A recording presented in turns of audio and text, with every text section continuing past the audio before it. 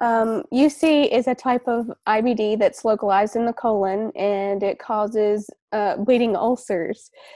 Um, so um, that's basically it.